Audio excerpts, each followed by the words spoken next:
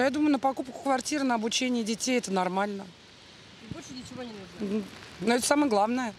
Квартира, учеба. Только на образование. Я считаю, на образование, либо на улучшение жилищных условий, и все.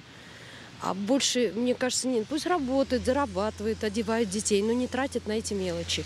Отмечу, что голосование продлится до 30 сентября. На сегодняшний день уже приняли участие более 2000 человек. Чтобы присоединиться к опросу, необходимо зайти на портал «Открытый регион Югра».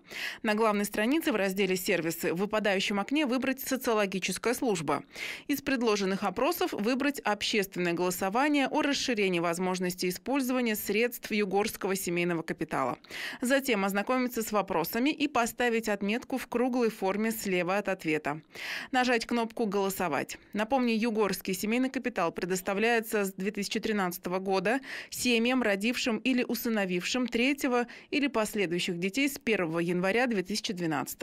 Использовать его можно по истечении одного года с рождения ребенка для улучшения жилищных условий, получения образования или медицинской помощи.